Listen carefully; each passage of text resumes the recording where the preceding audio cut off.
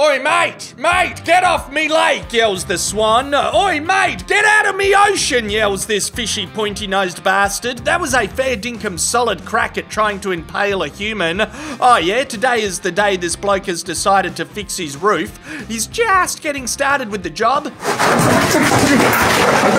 It's funny that the point at which he started the job was also the point in which he ended the job. Oh, yeah, there's a big ass kangaroo. They are sick and tired of us lately. I don't know why. This one's attempting to tear down a house. So many wankers are like, why don't Aussies celebrate Halloween? Because we live with these fucking nightmares, don't we? This is someone's hard earned investment property that they're renting out for $9,000 a week getting damaged.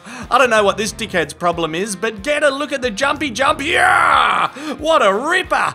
It's nice in this series hearing laughter instead of screaming.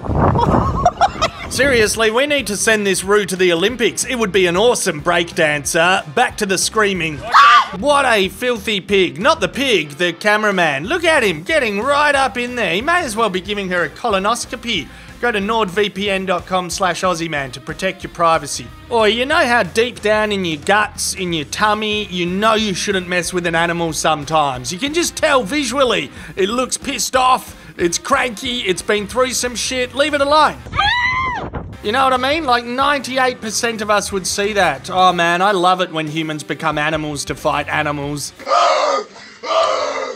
Get back! Yeah. Get back! Yeah. That's good. It's who we are, deep down. It is it is our nature. You can't deny it. Or you can deny it. I mean, some people do deny that we're animals. You can see this is evidence. This is visual evidence. We are animals. What I'm saying is, I'm not religious. I'm just an animal with pants and a big cranium. It was a day like any other day in Mexico until you heard your child running down the street screaming and being chased by a couple of angry goats. And what could you do for her? You could film her. That will build resilience. Nah, that's character building. Look at the goats.